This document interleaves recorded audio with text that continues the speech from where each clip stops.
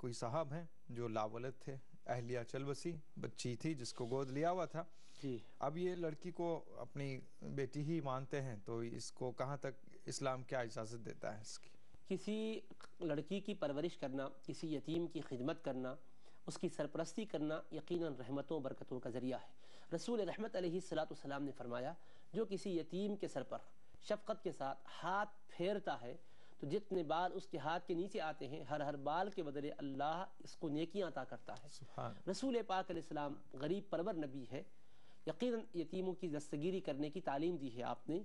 इस एतबार से अगर उन्होंने किसी की बच्ची को खा वो यतीम हो या ये कि बहुत से लोग ऐसे हैं कि कसरत से औलाद होने की वजह से खुद भी किसी ना किसी को अपने बच्चे दे देते हैं परवरिश के लिए और वो वाक़ औलाद से महरूम है तो ज़्यादा उनके अंदर शफकत मुजम रहती है, वो कुछ करना चाहते हैं, इस एतबार से देना लेना शरान जायज़ है, मना नहीं है।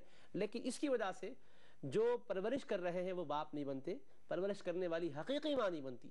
ये शफकत के अतबार से, यानी इसको परवरिश करने वाले रूहानी एतबार से, शफकत के अतबार से बाप और माँ क्यों ना कह ले, लेकिन शरय एतबार से नसब बनता है, उसमें ये नसब वाले माँ बाप नहीं बनते, क्योंकि वो तो माँ बाप अल्लाह जिसको बनाया वो है, रिश्ते जिसको पैदा किया वो है।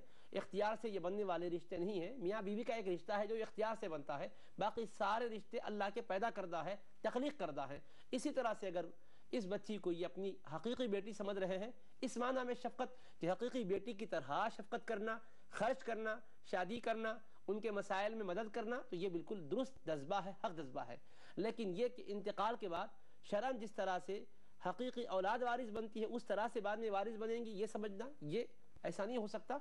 अगर शरय एतबार से ये बच्ची वारिस बनती हो तो ये शरय एतबार से बात दुरुस्त नहीं होगी, क्योंकि वरसा जो अल्लाह उसके रसूल के मुखर करता है, वही होंगे। हाँ अलबत्त यह है कि ज़िंदगी में इनको कुछ दे दे सकते हैं, इनको अपनी जायदाद का कोई हिस्सा अता कर सकते हैं, मगर बाद मर्ग बाद में जो वरसा का हिस्सा बनता वैसा इनका हिस्सा नहीं बनेगा। इस तरह से शफकत और मोहब्बत करते हुए आप उनको रख सकते हैं।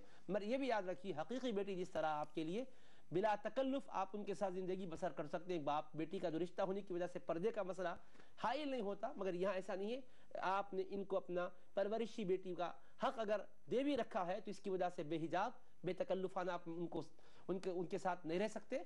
वो यकीन शरी अहकाम और हदूद का मुकम्मल पास लिहाज रखना होगा। और आज के इस गुमराही के और बेरहवी के रहरवी के दौर में बास जालिम ने बापों ने तक बेटियों के हकीकी बेटियों की इज्जतों को दागदार किया है। ऐसे मौके पर ख़ास तौर पर इसका ख्याल रखना चाहिए।